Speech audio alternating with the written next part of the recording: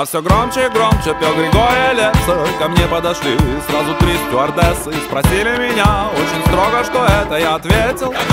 Я не знаю, как я обаял этих женщин Но в пакете стало немного меньше Потом я душой становился все шире Предлагаю вкус и другим пассажирам И когда кило лишь осталась пылинка Я привет передал всем пилотам в кабинку Надо только придумать, что сказать Макао Людям, которые ждут какао